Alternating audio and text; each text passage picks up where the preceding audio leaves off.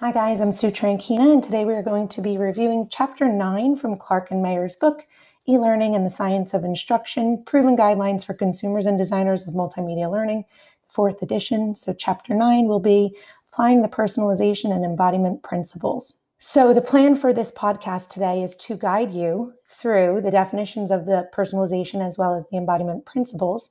We'll discuss some of the benefits and some of the watchouts.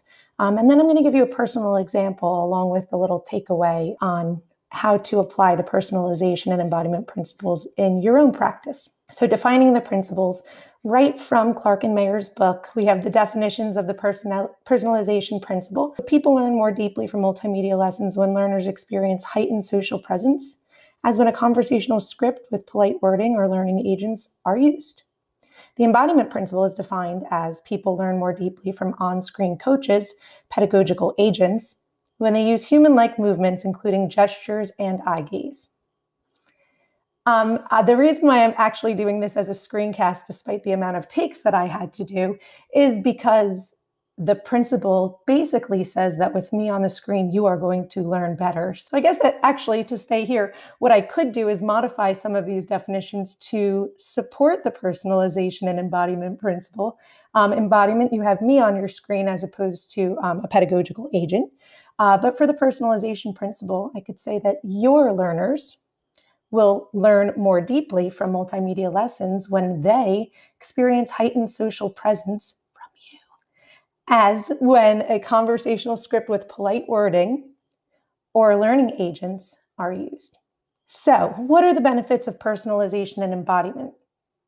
So, ultimately, people will learn better, especially beginners, if they feel like the content is being delivered to them. When you make a modification to your conversational style while you're delivering these lessons, ultimately it's going to result in higher uh, engagement from your students. What I gathered from all of Clark and Mayer's chapter nine, whether you have an agent or you don't on the screen, is that if your learner feels that there's going to be a social presence, that they'll feel engaged in a deeper cognitive process during this learning. Um, ultimately, it's going to result in a better learning outcome the learner will feel feel more invested in the trainer. Um, and then if you reflect back to chapter one, it actually talks about the psychological side of learning, where um, when your trainee or your student is more engaged um, and feels like you are actually speaking directly to them, it kind of will tap a little deeper uh, psychologically and it'll cause them to actually retain more information. Clark and Mayer also um, tell the the trainers to really watch out when you're using these personalization and embodiment principles uh, because you want to be pretty modest with the personalization. Um, you can really go overboard on this. I think that after reviewing some of the other principles that are being studied this past week, in all cases, you can o- go overboard with uh, with making modifications to the way that you deliver your trainings. But I think more so too with personalizing this. You know, you don't want to create an inappropriate tone for learning. You don't want the learner to underestimate the seriousness of the training because there's personalization in it. And also, um, you know, another big watch out, and I think that this goes with a lot of e-learning from what I've gathered through Clark and Mayer's reading so far. Um, some of these studies are just beginning. So, evidence is saying to do this so far. So, there is a, a study that I came across on page 185 and 186 in Clark and Mayer's book. Uh, and Moreno and Mayo did this study in 2004. And it was to promote personalization through conversational style. Ultimately, formal versus conversational style. If you define personalization, ultimately you want to have a conversation with your students or with your trainees especially in e learning models, this is going to be really important.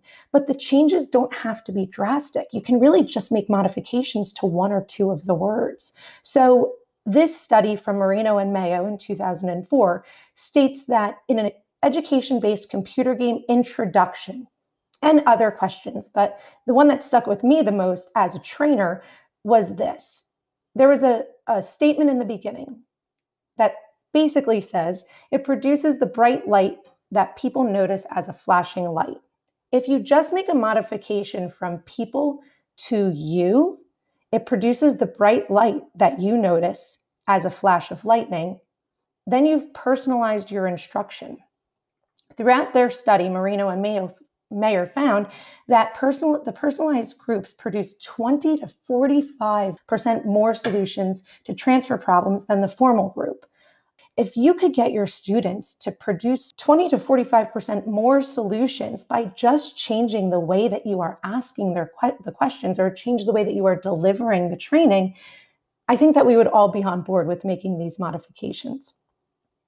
And then it also said that when a student is feeling engaged, that they're more invested in the trainer and they're more feeling more compelled to listen longer. And like we said, if you reflect back uh, to chapter one, they'll tap more into the psychological background of learning and retaining that information. So this is my little cheat sheet. Um, instead of and trying to use, how do you apply personalization and embodiment? So if I actually jump forward real quick, my example is kind of a little bit more of a general one. I was really shocked at, especially that study um, by Moreno and and Mayer, but I was really shocked at the evidence pointing towards just making these slight modifications. And I went through all of my uh, teaching materials from when I do my presentations, as well as as an educator, and I found that I'm not doing this. I'm not personalizing my instruction. And for someone who's a pretty big advocate in personalizing instruction, maybe my delivery is personalized to my students, but all of my materials needed a, a you know an overhaul, I guess we could say. Um, so while I was on a flight down to North Carolina to do a training, I actually made modifications to my whole presentation. So in my trainings, I'm making modifications throughout the presentation as well as in my materials, so my slide decks um, or any content that I'm sharing out with them. And I'm going to go over the ways that I'm making those modifications on the previous slide. Um, and then in class, my lesson delivery, my screencasts, especially, especially for when I'm out of the classroom, so the students kind of feel like they can still be invested in me as their instructor. Um, and then ultimately all of my materials as well. But jumping right back to how to make modifications to what you're already doing, I have this list of instead ofs and try to use. And I'm actually going to go full screen on this one um, just so that you can see how I have them paired up. Instead of using a formal style of instruction, Clark and Mayer recommend using conversational style of instruction. Instead of third person speech, they recommend using first and second person speech. So rather the um, people, maybe you would go more with you or your or I or she. Instead of direct wording, a little bit more polite wording. I know that uh, some of us in New Jersey could use a little refresher on polite wording, um, but you know, don't bark orders at your trainees, obviously. Using a machine voice, instead, you can use a, a friendly human voice. I think that this is really important when you have those on screen agents. A lot of times people are compelled to use a machine voice if it's a machine that's doing the training, um, but the studies have proven that that is actually detrimental to your students' learning. Um, this this was a really big one. When you have your on screen agent, you want them to look more human or human like, as opposed to a cartoon on screen agent. You don't want to distract your students.